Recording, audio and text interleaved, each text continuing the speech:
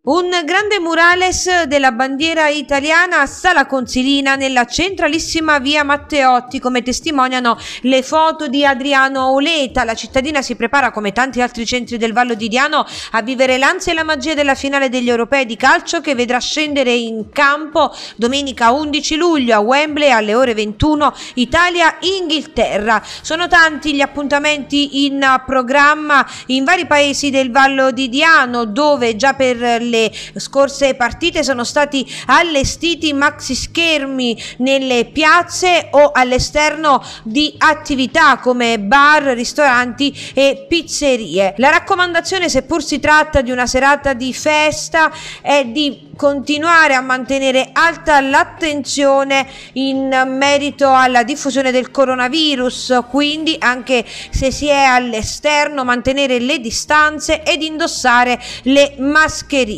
Intanto da Monte San Giacomo arriva in vista della finale degli europei un accorato appello da parte del sindaco Raffaele accetta i suoi concittadini, accetta invita in caso di vittoria a contenere la comprensibile euforia limitando gli assembramenti in luoghi pubblici ed in particolare evitando l'accensione di fuochi d'artificio e botti pirotecnici pericolosi. Un invito che arriva, secondo quanto si apprende dallo stesso avviso a firma del sindaco, dopo l'ultima partita che ha visto la vittoria della nazionale italiana, al termine della quale proprio l'esplosione di petardi ha provocato danni seri ad un'abitazione e destato preoccupazione. Episodi peraltro ripresi dalle telecamere di videosorveglianza. I festeggiamenti, sottolinea il sindaco Accetta, non devono trasformare l'eventuale festa in situazioni pericolose che, se accertate, saranno sanzionate come per legge.